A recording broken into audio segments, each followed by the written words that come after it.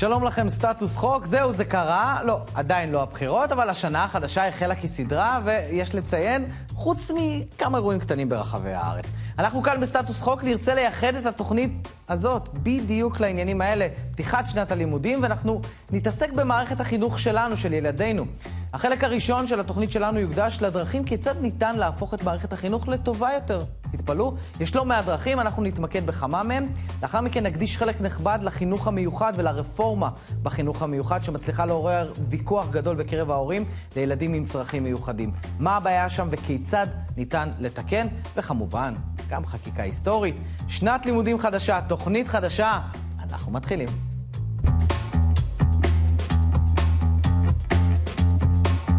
יותר משני מיליון ושלוש מאות אלף תלמידים החלו את שנת הלימודים בבתי הספר בשבוע הזה, ובגנים כמובן. אז אחרי החגיגות של האחד בספטמבר וכל החיוכים, אנחנו צוללים לתוך השנה עצמה, כשלא הכל נוצץ ומבריק וחדש, אתם יודעים, כמו ביום הראשון, ומנסים להבין איך אפשר לשפר את בתי הספר ואת הגנים של הילדים שלנו. לשם כך נמצאים איתנו שני מומחים לעניין, דוקטור סמדר גלילי, ראש היחידה לכניסה להוראה, אנחנו מיד נבין מה זה, במכללה האקדמית לחינוך על שם דוד ילין, ונחום בלס, חוקר חינוך ראשי, מרכז טאוב לחקר המדיניות החברתית בישראל. שלום לשניכם. שלום. שלום. טוב, אז אה, אחרי כל הפתיחה הארוכה, ארוכה, ארוכה הזאת, אני ארצה לשמוע אתכם, ושאלה אולי מעט פשטנית אה, ברשותכם. מערכת החינוך, כפי שהיא, בהתחשב בכל הנתונים שלה, באופן התקצוב שלה, היא מערכת חינוך טובה ביחס לעולם או לא? בבקשה.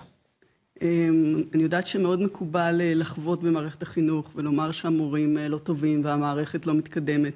אני דווקא אנצל את ההזדמנות הזאת לומר שמהניסיון שלי, גם בתור מורה וגם בתור אדם שעבד עם מאות מורים לאורך הקריירה, אני חושבת שרוב המורים שלנו הם מורים טובים, הם מורים איכותיים, הם מורים שאוהבים ילדים, הם מורים מקצועיים, אה, ואני חושבת שיש בעיות, יש בעיות במערכת, ומערכת החינוך עושה מאמצים רבים מאוד להשתדרג, להשתפר, להשתנות. אה, ואני חושבת שהגיע הזמן שהחברה שלנו תתייחס קצת יותר בכבוד וקצת mm. יותר באהדה אה, לאנשים שעושים את העבודה הזאת היומיומית, שעל הכתפיים שלהם מונחת אה, כל האחריות. ואני חושבת שעם כבוד והערכה כאלה, יש סיכוי לשיפור הרבה יותר... אוקיי, מר בלס? אני שמח להסכים עם סמדר. ואני, אם מערכת נשפטת על ידי התוצאות, אז מערכת החינוך שלנו היא לא רק טובה, הייתי אפילו אומר, טובה מאוד. אוי אוי, בוא, אתה מרעיד כן, פה את אמות הסיפין עכשיו. אה, נכון, משום שאם אנחנו, מה, מה הם התוצאות של המערכת?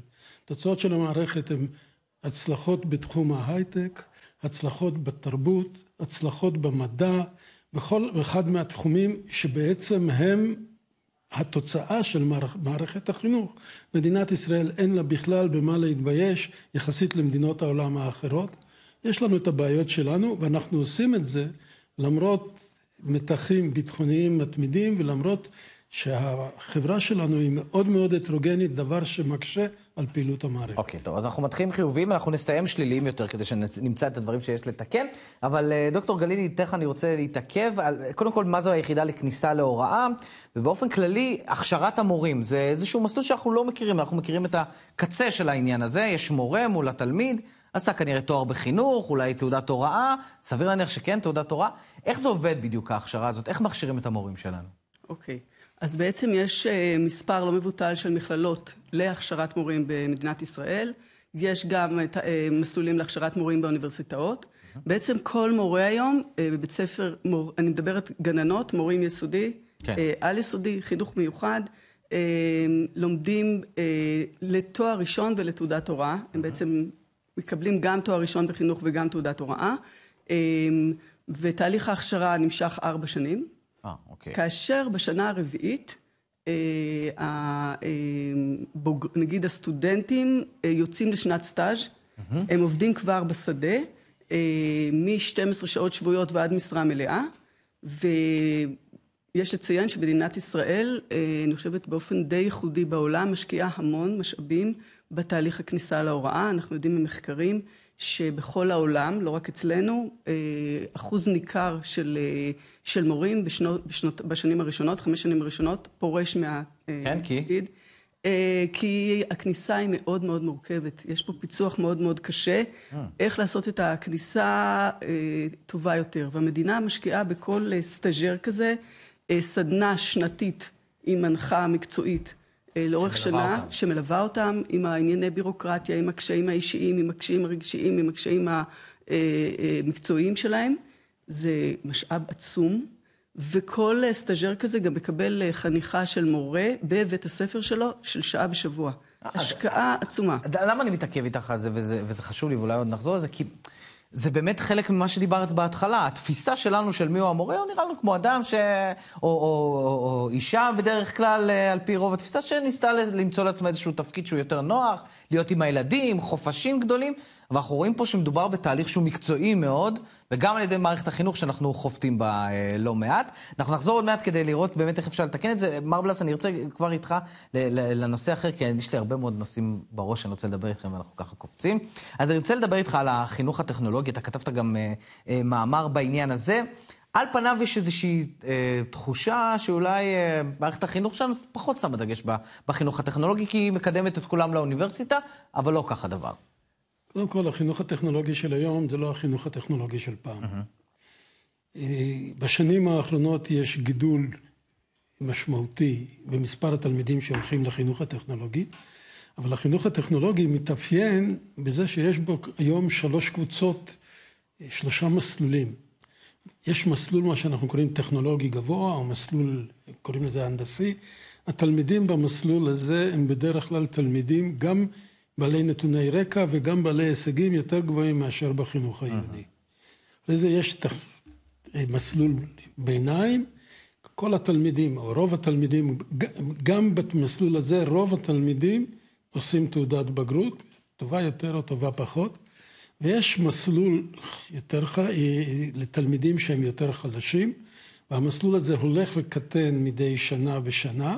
ואפילו במסלול הזה של התלמידים שבעבר נחשבו שקשה מאוד להביא אותם אפילו לסיום י"ב, חלק מהתלמידים האלה עושים בגרות, כמעט כולם, 90 אחוז מהם מסיימים כיתה י"ב.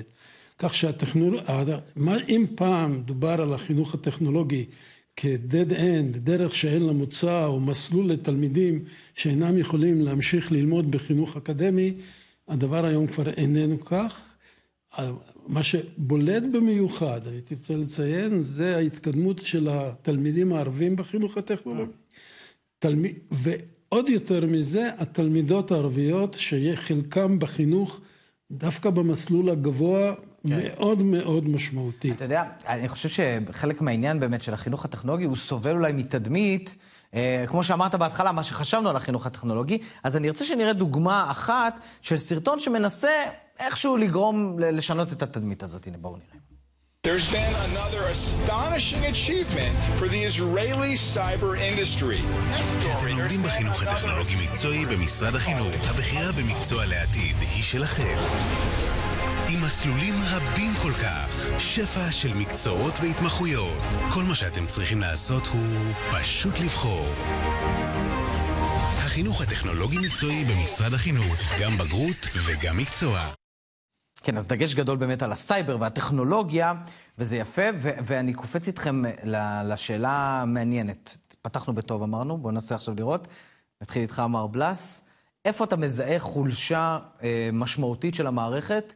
שיש מקום אולי לתקן חקיקה שלה בחוק לימוד חובה, או באופן כללי לנסות לפעול באיזושהי רפורמה? הבעיה המרכזית, החריפה והמתמידה של מערכת החינוך היא בעיית הפערים. היות והחברה שלנו היא מאוד הטרוגנית בנתוני הרקע שלה, הפערים בתוך המערכת מאוד מאוד גדולים. המערכת עשתה מאמצים במהלך שנים לתת העדפה מתקנת, אבל העדפה המתקנת כמעט כולה התמקדה בחינוך היסודי ובחטיבת הביניים. אין כמעט העדפה מתקנת המתייחסת לנתוני הרקע של התלמידים בחטיבה העליונה, בוודאי שלאין בגנים, ועוד יותר בולט, ואני רוצה לשים על זה את הדגש, אין שום העדפה מתקנת ושום תשומת לב משמעותית לחינוך הבלתי פורמלי. אני רוצה להדגיש, ילדים מבלים חלק גדול מאוד מזמנם מחוץ לבית הספר. תקציב החינוך הפורמלי, הבלתי פורמלי במערכת החינוך הוא בקושי אחוז וחצי. מתוך אחוז וחצי של- מתוך כלל התקציב של משרד החינוך מוקדש לחינוך בלתי פורמלי, שכולל תנועות נוער, חוגים וכדומה. 600 מיליון ב- שקל, אם אנחנו עושים חישוב לא. מהיר, לא? לא 600, היות ותקציב משרד החינוך היום הוא מעל 60 מיליארד, נכון, סליחה. אז מדובר במיליון כן. וחצי, אז זה למעלה ממיליון. אז אי אפשר, אי אפשר לטפל טיפול שורש בבעיות הפערים של מדינת ישראל בלי שיוקדש מאמץ רציני בחינוך הבלתי פורמלי, לנתק את הילדים מהמסכים, להביא אותם לפעילות חברתית, להביא אותם תנועות נוער, מה שהיה פעם, מה שהיה נוער, כל כל. הדברים האלה. בדרך כלל לא שמים על זה את הדגש, מדברים על דברים אחרים, מבחינות בגרות, נשי וכדומה. כן. אני מוצא שזאת נקודת תורפה קריטית, ואותו דבר גם בגיל הרך. כן. גם בגיל הרך אין שום העדפה מתקנת, וילד, בגיל, ילדים ברהט וילדים ברעננה, הם ילמדו באותו גן בסדר גודל של 30 תלמידים, גננת אחת, עם סייעת שנייה, בלי סייעת שנייה, זה לא מספיק. בשביל לעשות, בשביל לצמצם את הפערים החברתיים והלימודיים, צריך לתת הרבה יותר העדפה כן. מתקנת בתחומים האלה. דוקטור סמדר גלילי, אני מעביר אלייך גם את השאלה, ממקום אולי התמחותך, או לא רק, איפה, איפה את מזהה את ה... אז אה, מטבע הדברים אני אדבר על המורים, אה, ורק אתייחס לקצה של השאלה האחרונה שלך. בבקשה. אה, מקצוע ההוראה הוא מקצוע, זה, זה פרופסיה. זה לא סמי פרופסיה, זה, לא, זה מקצוע שצריך ללמוד אותו.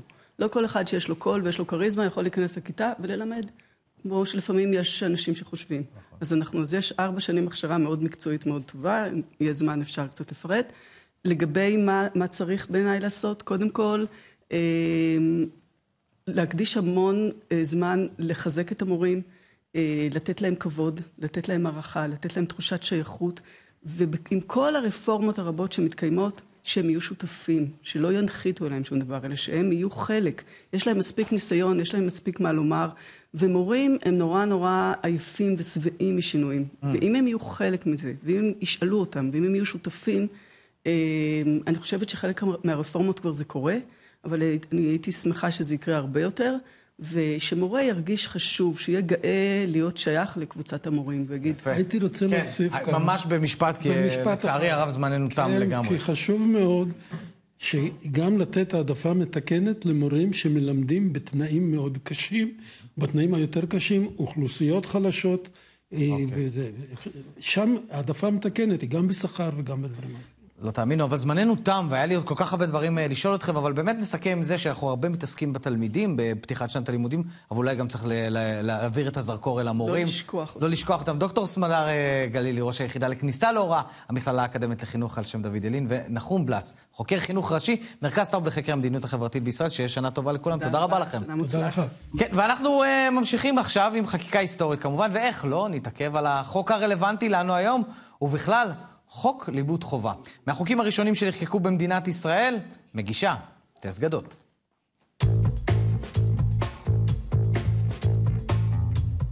חוק לימוד חובה נחקק בימיה הראשונים של הכנסת הראשונה בשנת 1949, והוא קובע כי כל ילד בישראל חייב להיות במסגרת חינוכית. החוק תקף החל מגיל שלוש ועד הגעת התלמיד לכיתה י"ב, או אם מגיע התלמיד לגיל 18 בתחילת שנת הלימודים.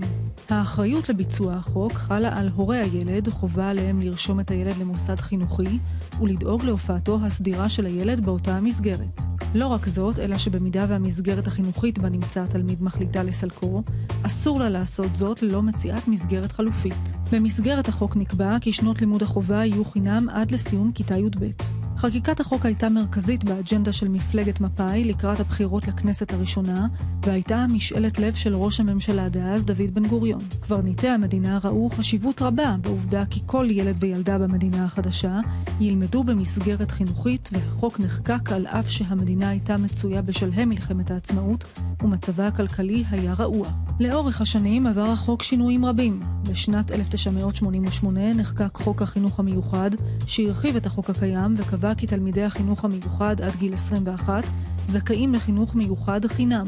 אף על פי שאינו מוזכר בחוק, מקובל היום במדינת ישראל שהורה רשאי לבקש מהרשויות לחנך את ילדיו בביתו במסגרת חינוך ביתי. על אף שבעיני המחוקק החוק היה מן הבסיסיים ביותר לקיומה של חברת הקינה, בקרב אזרחים גרר החוק דעות מנוגדות. לדעת התומכים בחוק, תפקידו בצמצום פערים הוא חשוב ביותר והוא נחקק על מנת לתת הזדמנות שווה לכל ילדי המדינה במתן חינוך בסיסי. המתנגדים לחוק טענו שהחוק מיותר, שכן ההורים דואגים לחינוך של ילדיהם, ואין צורך בחוק שיכפה עליהם לעשות זאת.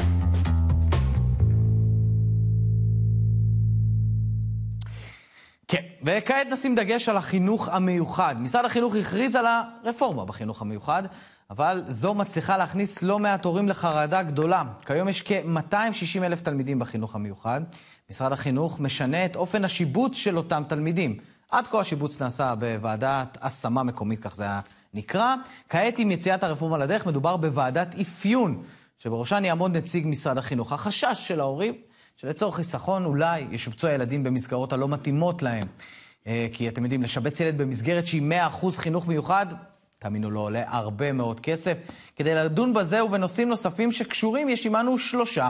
עורך הדין מנחם גולדין, מארגון אה, הבית של המשפחות המיוחדות, ארגון קשר, אמנון אה, הר שושנים פעיל בקרב הורים לילדים אוטיסטים, ומיכל לויט, רכזת פדגוגית בחינוך המיוחד ורכזת תחום הכלה והשתלבות. שלום לכולם.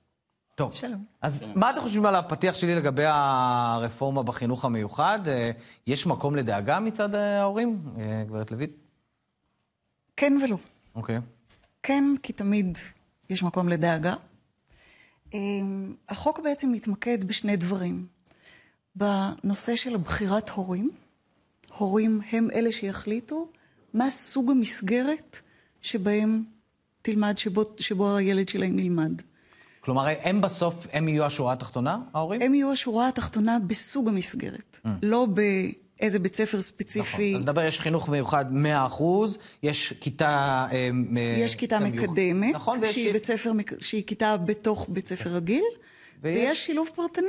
ילד בתוך, בתוך כיתה רגילה, נכון. עם... אה, נכון. עם, ובעצם ההורים יכולים לומר, אנחנו מעוניינים בבית ספר שהוא חינוך מיוחד מלא, ועכשיו מתחילים לדבר איפה, למה, איך וכמה. נכון. אז כלומר, אז, אז בעצם... אז זה דבר אחד, כן, אוקיי. זה בסיס אחד של החוק. הדבר השני עוסק בוועדות אה, זכאות ואפיון, שהן באמת מחליפות את ועדות ההשמה, אה, שהן אמורות להיות ועדות מקצועיות הרבה יותר.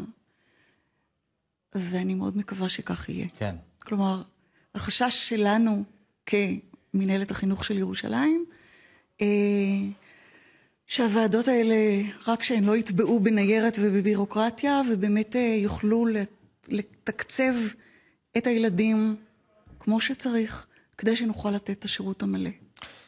עורך הדין אה, גולדין, איך אתה רואה את זה? זאת אומרת, האם באמת, אה, מיכל ככה, מהלכת בין הטיפות, אבל החשש הוא באמת שהשיקולים לא יהיו שיקולים ענייניים בסוף עד הסוף, יתבעו בניירת, החיסכון יהיה מול העיניים יותר מטובת הילד, יש ממש בזה?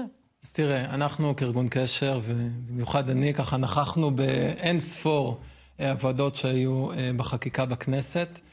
אה, תשמע, אחד הדברים שאנחנו אומרים, מכנים אותם ילדים עם צרכים מיוחדים, זה לא ילדים עם צרכים מיוחדים, זה ילדים שצריכים חינוך. היום ו... צריך להגיד, סליחה שאני קוטעת כן? אותך, ילדים עם מוגבלות. אז אני אומר יותר מזה, וזה גם מה שאמרנו בכנסת, אלו ילדים שצריכים חינוך. ואני חושב שכקשר, אה, בתור ארגון שמייצג את ההורים, אחד הדברים שבאמת, אה, אם אפשר להעביר את המסר הזה, אה, למעשה כאשר מדובר בילד שיש לו מגבלה כזאת או אחרת או חסם כזאת או אחרת, יש נטייה של המערכת לשים על המיקרוסקופ, להחריג אותו ולבוא להגיד הוא ילד שהוא צריך חינוך מיוחד ולא צריך חינוך, או ילד עם צרכים מיוחדים והוא לא צריך אך ורק חינוך, ולכן נאבקנו מאוד בכנסת, ואני חושב שנקודת האור נקודה שגם מדברים עליו הרבה מאוד שנים ונעשה בפועל אה, במדינה, בזה שהורים יבחרו את סוג המסגרת. אני יודע לבחור בין ממלכתי-דתי לבין ממלכתי, ואף אחד לא יעז לקחת חילוני לדתי ודתי לחילוני.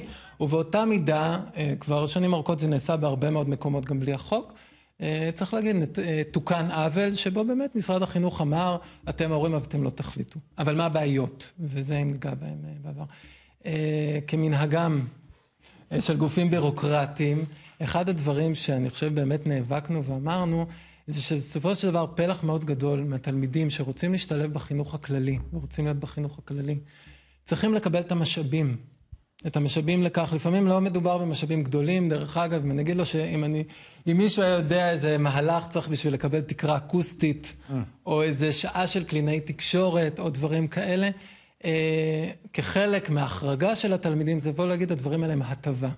אנחנו פה להגיד לא זו בלבד שזה ילדים שצריכים חינוך, הם אבן הבוחן. של המערכת בחינוך במדינת ישראל. זה לא ככה. ילדים אומרת, צריכים... עדיין, עדיין זה הישגים במערכת החינוך. ילדים, אני אגיד לך יותר מזה, הילדים צריכים לקבל את המשאבים האלה וצריכים לקבל אותם בזמן. היום ילד והילדים אה, שצריכים קלינאי תקשורת או תקרה אקוסטית וכולי, לפעמים מבלים, הם והוריהם, שנה, לפעמים יותר בתוך המערכת, בוואקום. בוואקום מוחלט שהם לא מקבלים. יש להם ועדות על ועדות על ועדות, על מסמכים, על אפיונים, וזה בכלל במערכת אה, משפחות מיוחדות מתקלות. וצריך להבין שבמהלך השנה הזאת ילד הוא ילד. כן. והרבה פעמים הוא קורס, וכקשר הבית של המשפחות המיוחדות, גם משפחות עצמם הרבה מאוד קורסות. אתה יכול לספר קצת על... אני רק אשלים ואני אגיד באבסורד, שבסופו של יום, גם אם יגיד להם, אז בסדר, תלכו לחינוך המיוחד, גם שם אין מספיק מקום. והרבה פעמים דיברת על השיבוצים. כן. אה, זה הרבה פעמים פנוי בארלוזרוב. זהו, זה בדיוק. כן. אז עוד, מעט נחזור באמת לארגון, כי זה מעניין אותי, אני רוצה אה, לתת פתחון פה גם לאמנון הר שושנים. אה, אתה אה, חבר בוועד המנהל של עמותת אקדם להורים על, אה, עם ילדים על הרצף האוטיסטי. תסביר קצת, האם יש הבדל לילדים על הרצף האוטיסטי בכל מה שקשור בתוך החינוך המיוחד לצרכים שלהם, או שאנחנו מדברים פחות או יותר על אותם צרכים? תראה, יש הבדל מסוים מעצם הלקות. זאת אומרת, אם נלך לנושא של כיתות חינוך מיוחד, אז יש כמה סוגים. במקרה של אה, ילדים על הרצף האוטיסטי, אז יש כיתות אה, אה, תקשורת, מה שמכונה, או כשיש בתי ספר קולניים, אז זה עם אפיון של אוטיזם. אתה אומר כיתות תקשורת כמשהו, כדרך אגב, גם זה משהו שלא פשוט לקבל, זאת אומרת, נכון? לא- מאוד לא פשוט זהו, זה, זה אחד הקשיים. זאת אומרת, הכוונה, מה זה לא פשוט לקבל? בסופו של דבר, וזה אחד מהדברים שמפספסים, כשרואים את המוכנות של משרד החינוך לשנת הלימודים, והוא מראה כמה, כמה כיתות חסרות או נפתחות. אז יש דבר מעניין, משרד החינוך לא יוזם כיתת, פתיחת כיתות. הוא יודע להצביע על הפער, אבל אם תבוא למשרד החינוך, תשאל אותו, מה? מה התכנון האסטרטגי שלך לשנים הקרובות, איפה אתה פותח כיתות, הוא לא יודע. למה? כי קודם כל, משרד החינוך לקח את כל הנושא של ההתנהלות של החינוך הרגיל, של הרישום והשיבוץ, והכיל אותו לחינוך מיוחד. זאת אומרת, מי שמנהל את זה, זה הרשות המקומית. עכשיו, אם, אם היא מספיק גדולה, יש לה איזה שלייקס קצת פה ושם לשחק. אם היא לא מספיק גדולה, הרבה פעמים גם אין לה פתרון, ואז מתחילים לחפש ברשויות אחרות. רשויות אחרות, לא בכך, לא, אין להן שום מחויבות. זה הסעות, וזה שעות על גבי שעות. עכשיו, הוזכר כאן, כן. סתם דוגמה, נושא של ממ"ד, אם אתה הולך בכלל לנושא של זרמים, שם בכלל, אין לזה בכלל התייחסות. אני רוצה רק לשאול אותך, אה, מר שושני, בעניין העמותה שלכם, אקדם, איזה שירות היא יכולה לתת להורים שנתקלים בקשיים מהסוג הזה? אז תראה, האקדמיה התחילה בכלל בתור יוזמה של עיריית מודיעין. בתור פורום הורים ודווקא מהצד של הרווחה. זאת אומרת, זוהה איזשהו פער צורך שבסופו של דבר היום-יום של הורים זה בהתנהלות במרחב העירוני. ואז הרבה פעמים יש דברים ש... צריכים לתת או את המענה, או לראות לאן זה הולך. ולאט לאט זה, זה יתפתח, ובסוף זה יתגבש כ, כעמותה, זאת עמותה שכולם מתנדבים, אה, הרבה מההורים. ולמעשה אה, זה הפך להיות גם מרחב וירטואלי עם הרבה קבוצות וואטסאפ ותמיכה ומידע ו- וידע כן. אה, של מה עושים במקרה ולאן פונים. קבוצת אה, תמיכה כזאת, כלומר, קבוצת, אבל... מה שנקרא מוח... מאגר מידע. בהחלט, חוכמת ההמונים כן. וכל מה שאנחנו מכירים. זה הפך להיות בסוף גם אה, למרכז עירוני לנושא של האוטיזם, אבל יותר מזה, זה כבר הפך להיות מודל גם לשאר הצרכים המיוחדים. זאת אומרת, בתוך מה שנקרא היום בית אקדם, גם פועל היום מרכז למשפחה של עיריית מודיעין של תחת רווחה, עבור כלל המשפחות המיוחדות. וזה מודל שהולך ורק, מתפתח בשנתיים האחרונות. אני, אני, אני ברשותך ארצה לחזור uh, לגברת uh, לויט, רכזת פדגוגית בחינוך המיוחד. כלומר, תנסי להסביר לנו פחות או יותר מה התפקיד שלך, וכמה יש לך נגיעה באמת אולי לדברים שכאן אה, הציג מר גולדין הציגו מר גולדין ומר הר שושנים. איפה נכנסת העירייה ב, ב, ברגעים האלה? אוקיי, okay, אז זה יותר מתקשר לתפקיד שלי כרכזת תחום הכלה והשתלבות במנח"י. כאשר היום אה, מנהלת החינוך של ירושלים שמה לה בראש סדר העדיפויות שני דברים. אחד זה הטיפול בפרט, והשני זה רלוונטיות חינוכית וחדשנות. כששני הדברים האלה בעצם משרתים מאוד מאוד יפה את התיקון לחוק. אוקיי. ואני קצת ארחיב ברשותך. אמ, אנחנו רואים את זה כהזדמנות אה, לאיזשהו תיקון או שינוי ערכי חברתי. כי כשאנחנו מדברים על שונות מאוד מאוד גדולה, אז זה לא רק ילדים עם מוגבלות, אלא בכל כיתה יש ילדים עם שונות מאוד מאוד גדולה. ולכן אנחנו לקחנו על עצמנו לנסות לבנות קריטריונים, או לא, לא קריטריונים, אלא יסודות, uh-huh. שמרכיבים מבחינתנו את ההכלה והשתלבות. וכשאנחנו מדברים על זה כמקבילה לחינוך מיטבי, לחינוך טוב, וזה החינוך שאנחנו רוצים שיהיה בירושלים. Okay. אוקיי. כשהמרכיבים שלו הם קודם כל הוראה הטרוגנית. כשלצורך הוראה הטרוגנית אנחנו מקימים מרחבי למידה, אנחנו... הוראה הטרוגנית מאיזה צד? שהמורים, או מצד התלמידים, או שילוב של התלמידים? גם וגם. הוראה okay. הטרוגנית מדברת על זה שגם שיטות ההוראה יהיו מגוונות ויאפשרו שונות גדולה, וגם שדרכי הלמידה של הילדים הן שונות. ולכן צריך להתייחס להטרוגניות ש- של ילדי הכיתה. שזה כמובן כולל גם את הילדים עם המוגבלות. Mm-hmm. ומנחי בשנים האחרונות משקיעה תקציבים מאוד מאוד גדולים בשינויים פיזיים בבתי הספר, כדי לאפשר הוראה הטרוגנית. Okay. אוקיי. אבל זה באמת רק בסיס אחד. Uh-huh. הבסיס השני מדבר על uh, למידה חברתית רגשית. אנחנו טוענים שילדים לא באים לבית הספר כדי לקבל ידע. היום, להבדיל משנים uh, קודמות, המורה הוא לא בעל הידע המרכזי, הידע נמצא בקצות נכון. האצבעות. ולכן הלמידה חייבת להיות צריך, צריכה להיות התייחסות לילד. כל הנושא של הטיפול בפרט, שזה גם כן משהו שבשנים האחרונות מנחי השקיע הרבה מאוד משאבים, הכניסה טיפולים פארה-רפואיים לבתי הספר, אם זה טיפול בגינון, בעלי חיים, אה, אומנויות ודברים דומים. והשלישי? אה, יש חמישה. חמישה? אז אנחנו נצטרך לעשות את זה קצת יותר מהר. אוקיי, השלישי, תמיכה ופיתוח כן. של צוות. אוקיי. כשהטענה המרכזית זה ש... מורים שלא מוכלים לא יכולים להכיל. וכאן כמובן גם נכנס העניין של ידע. חייבים לתת ידע למורים. אוקיי. וזה אחד מהדברים שאנחנו עובדים עליו. הם, הורים וקהילה. Mm-hmm. ההורים הם, הילדים הם שלהם. אנחנו, אנשי המקצוע, שותפים בתהליך החינוכי. ואנחנו שותפים שלהם מלאים, ולכן זה גם מבורך התיקון של החוק. כן. כי זה... לשלב אותם. לשלב אותם, וגם נורא חשוב לזכור שחינוך לא מסתיים באחת וחצי, או הכלה לא מסתיימת באחת נכון. וחצי. זה גם מה שדיברנו ולכן ב- חייב, ב- חייב באייטם להיות... הקודם, שצריכים, החינוך הבלתי פורמלי צריך לקבל קודם כל הרבה יותר תקציבים ויותר תשומת לב, כי הוא, הוא מרבית הזמן, ולאו דווקא החינוך הפורמלי. אה, אני, אני, בגלל שאין לי הרבה זמן, אז אני אצטרך לעשות איזשהו סבב ביניכם. אני אתחיל איתך, עורך הדין אה, גולדין. קודם כל, אני ארצה ממך באמת שתי מילים על ארגון קשר. ולאחר מכן, ובאמת אה, צר לי על, על סד הזמנים הדחוק, נקודה אחת שהייתם, שהייתם שמים עליה את הדגש לשיפור לקראת הכנסת ה-22, שצריכה לשים דגש בעניין החינוך המיוחד, אם זה תיקון חוק או שינוי הרפורמה. אז נתחיל קודם כל מהו ארגון קשר, ואז באמת הנקודה שלך. אז ארגון קשר פועל כבר uh, קרוב ל-20 שנה, ואני שמח להגיד שהרבה דברים שארגון קשר עשה ב-20 שנה כבר לקחו הלאה למקומות yeah. כן. אחרים. והרעיון היה באמת אותה משפחה מיוחדת שעובדת uh, מול עשר uh, ועדות. בכל מרחבי המדינה, כן. אה, וצריכה לקבל זכויות מזכויות שונות, וצריכה לטפל בילד, וצריכה את הטיפולים, והכל קיים, אבל להגיע לזה אין דרך, אין דרך למצוא מסגרות וכולי. Okay. אוקיי. אז כבר 20 שנה מטפלים, ואני נמצא פה, כשיש לי הרבה מאוד פניות שמגיעות למרכז המידע ומיצוי הזכויות, באמת לסייע להורים בנושא הזה. Okay. אוקיי. אה, במרחב הזה. ובשתי נקודות, אה, ממש זריזות, כי אנחנו זריזות. ממש... אז דבר ראשון, כן. המשפחה. ילד הוא חלק ממשפחה, וחשוב להבין את זה במשפחה. וצריך להגיד את זה לפעמים למערכת, היא לא אויב, היא שותף. היא גוף שהוא מומחה, okay. אוקיי. מומחה מהצד שלו, זה נקודה אחת. ונקודה שנייה שחייבים להגיד, וחייבים להזכיר, משרד החינוך בתוך הרפורמה, וזה לא הרשויות, זה משרד החינוך, הוציא את מה שהוא קורא ילדים בשכיחות גבוהה, תודה. את כל אותם ילדים רגישים, את כל אותם ילדים עם קשיי למידה, okay. את אוקיי. כל הילדים עם בעיות התנהגות מהפן התקציבי.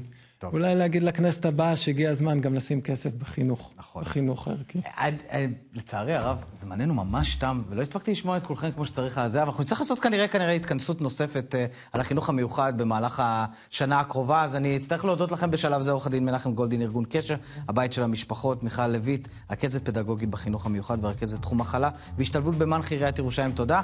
ואמנון הר שושנים, תודה רבה גם לך, פעיל בקרב הורים לילדים אוטיסטים. זהו, אנחנו uh, מסיימים עוד תוכנית של סטטוס חוק. עד הפעם הבאה, זכרו, שמרו על החוק.